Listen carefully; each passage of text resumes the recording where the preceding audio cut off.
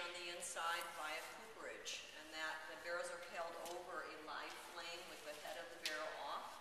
and that seals the inside of the barrel, and they do a light, medium, and a heavy toast.